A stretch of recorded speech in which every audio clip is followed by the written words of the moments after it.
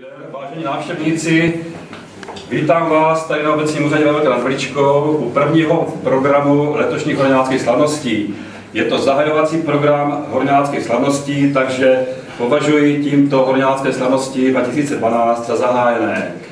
Vítám vás všechny ještě jednou a e, jedná se o program, jsou to vernisáže tří výstav, které připravili tady pracovníci e, a vystavovatelé, kteří vám něco teďka řeknou k jednotlivým výstavám. Nahoře jsou dvě výstavy, jsou to práce paní Cornelie Němečkové a Zdeňka Němečka, obrazy Františka Pavlice a dole v obřadní síni, pak tam půjdete posléze, tam jsou obrazy pana Zdeňka Hudečka.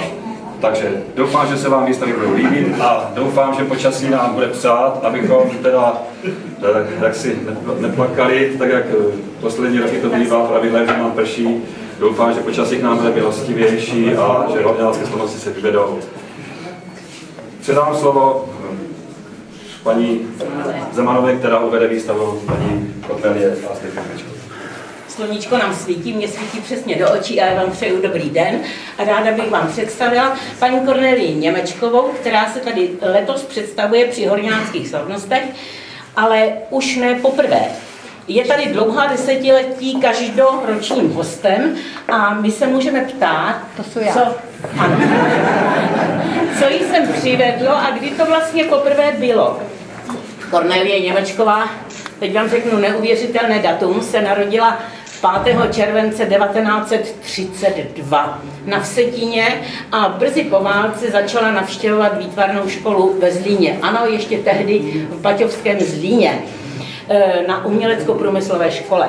Měla velké štěstí na své profesory, ale měla také velké štěstí na to, že potkala tam ve Zlíně svého budoucího partnera, manžela Zdenka Němečka, se kterým nejdříve tancovala ve slováckém krůžku, Eh, ten byl sice východočech od Chrudimy, ale je třeba říci, že moravskou zemi své manželky přijal doslova za svou a začal jsem jezdit a začali spolu tancovat. Nejdříve v Hradišťanu, potom v Praze ve slováckém krůžku a tam právě měli pravé horňácké kroje.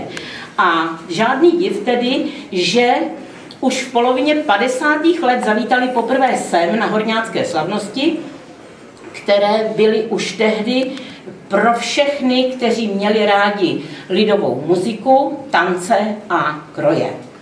E, Zdeněk a Cornélie spolu protančili své mládí, ale jejich souhra se projevovala i jinak.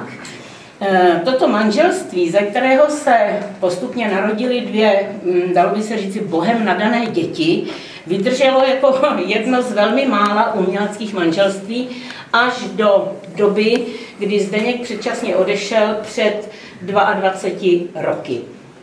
Zdeněk a Cornelie se lidsky i umělecky velice ovlivňovali, spolu tvořili, spolu společensky žili a také svoji tvorbu společně představovali.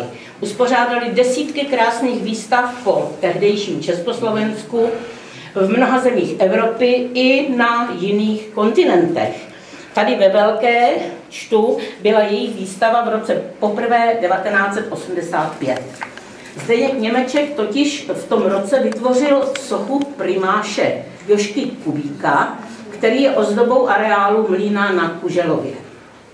O sochařově příklonu k tomuto kraji a k jeho tradicím svědčí další jeho socha primáše Samka Díka, která stojí jednak na Mijavě a jednak spolu s Jaškou Kubíkem a Slávkem Volavým ve Strážnici v původně zamýšleném parku osobností lidové kultury. Zdeněk Němeček proslul především jako sportovní sochař, jeho vpravdě monumentální sochy zdobí mm, různé sportovní haly na celém světě a v olympijských areálech mnoha zemí. Jeho snad nejvzdálenější socha stojí v Peru jako podsta českým horolezcům, kteří tam tehdy zahynuli pod lavinou. Kornelie Němečková se v té době e, věnovala především textilní koláži a také tehdy novému výtvarnému projevu, u nás neznámému, a to byla vystřihovanka.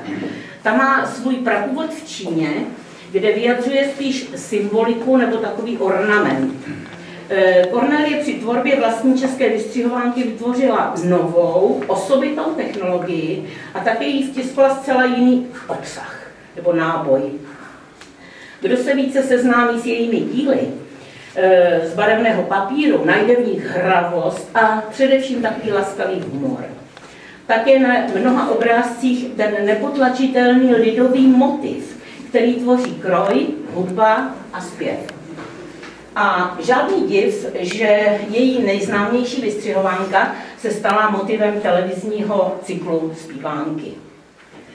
Po roce 1972, je to právě letos 40 let, vstoupil do její umělecké tvorby Aradekor.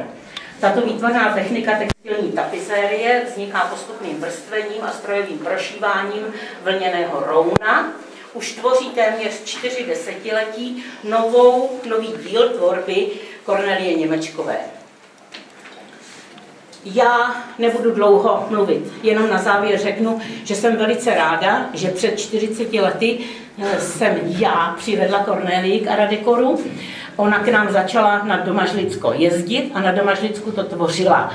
Takže za to jsem jí velice vděčná. Jsem jí dále velice vděčná za to, že mě jsem jako děvče z Domažlic a mého muže Rizího Hanáka z Prahy přivedla i na Horňácko, a takže už jezdíme, no, deset let sem, máme tady nové přátele a jezdíme sem každý rok. A teď už tři roky sem vozím našeho vnoučka, který teď pro Cornelii eh, zahraje jednu písničku a tu druhou zahraje pro vás pro všechny.